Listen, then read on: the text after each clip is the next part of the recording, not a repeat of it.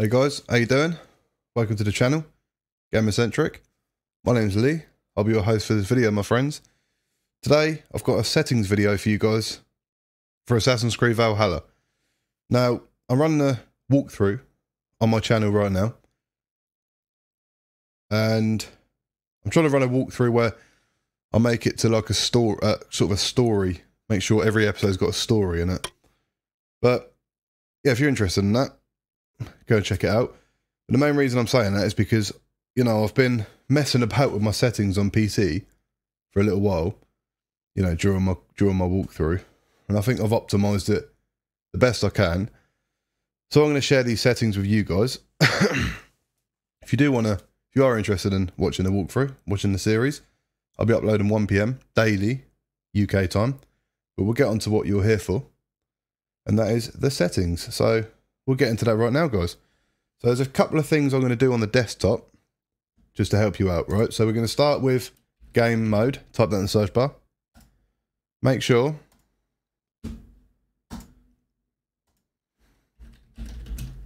game mode. That's what I meant to type in. Make sure game mode is turned off. Okay. Second one, advanced system settings. Okay. We get this little menu. You want to click performance settings. You get this menu. Okay. If you've got a lower end PC, adjust for best performance. If you want to do custom, you can turn them all off. or You can play about with it because you probably find you only need like show thumbnail instead of icons because this would be sort of make it look like this and make it look pretty. There's nothing else you really need, guys, to be honest. So I leave mine on Windows because my PC is okay. But if you've got a lower end PC, honestly, guys, just put it on performance. Just put it on performance or just turn them all off, you know. You'll find a nice bump in FPS from that, guys. Second, uh, thirdly, sorry, you want to go to power options, power and sleep settings, additional power settings, and you want to click high performance. If you've got Ryzen processor, you can get the Ryzen high performance package. If you can't find that and you do want to get that, you need to go type your motherboard into Google, followed by driver, drivers. Update your bio, uh, not your bio, don't do that. Update your chipset, and then you should be able to get the high performance package for Ryzen. If you can't be asked to do all that, honestly, just do high performance because it's pretty much the same thing. It literally is pretty much the same thing. So that's three important steps, guys. I'm going to give you one more, actually. This one helped massively. Absolutely massively. So if you've got an RTX card or NVIDIA card, right click and click on NVIDIA control panel. You want to go to manage 3D settings, okay? Program settings. If you can't find Assassin's Creed Valhalla in this drop down box, click add, okay?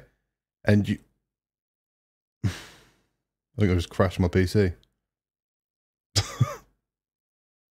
no, I didn't. Because I'm running Valhalla at the same time. So just click on AC Valhalla and add the selected program. Once you've added it, make sure it's selected here, okay? And then there's three settings you need to change.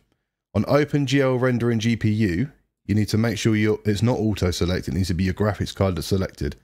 Mine's the RTX 2060. You need to select your actual graphics card here. Then power management mode, prefer maximum performance. Okay. And bugger off. And then the final one, texture filtering quality, high performance. They're the three you want to change here, guys. I promise you, this will give you a bump in FPS, a nice bump in FPS, okay? Also, go to adjust image settings with preview and slide this down to performance. Okay? That's it for that. That's it for the desktop settings. We're going to get into the game settings now, guys. Grab me controller, because we're playing on controller, because this is an Assassin's Creed game. Right, so into graphics, we've got graphics quality, custom. So adaptive quality, off. Don't need that. AA, medium, is a very good balance between performance and looking good. Don't put it on low. If you need to put it on low, you can put it on low, but try and go medium if you can. World details, high. Okay? You can drop this if you need to, but this isn't the main one. I'll show you what the main one is. It'll give you a bump in performance in a minute. Clutter, medium. See? Don't want it on low, because that just makes it look like hills. Medium's fine, you know? Mediums are good. A good way to go. Shadows, keep that on low. There's no look at the difference. There's no difference between shadows anyway. It's just what? There is a difference, but it's not. It doesn't matter. Volumetric clouds, medium, because if you're going to run around looking at the sky through your playthrough, it's just no point in playing the game. if you know what I mean. Water, medium, because it still looks nice. Uh, SSR, just turn this off. You don't need to see the reflections in the water. You know, same as ray tracing. It just absolutely destroy your hardware. If you've got a lower end PC, that is. You'd probably be okay if you've got a higher end PC. It's up to you. I mean, this will save you a good amount of FPS if you just turn it off. And this isn't ray tracing, I didn't mean that. This is SSR ray tracing, it's just something else I'm talking about. Environmental textures, medium. Now, this is the big one, guys. This is the main one you want to put on medium because low and medium, there's no difference really. But medium and high, watch the VRAM. If I put it on high, boom. It put it up by about a thousand.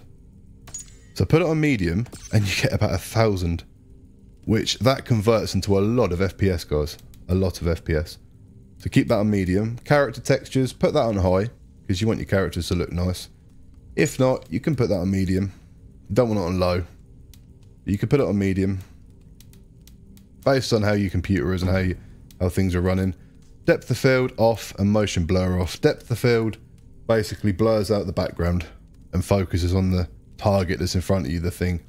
Say the person that you're talking to. That's all the settings, guys. Hopefully that helps. Hopefully that speeds up your game, gives you a nice bit of FPS. Like I said, if you're interested in checking out my series, pop over to my channel and have a look. If you have any questions, let me know down in the comments and I'll get back to you as fast as possible. And yeah, if you did enjoy this video, guys, please be sure to like, comment and subscribe. And I'll see you all for the next one. Peace.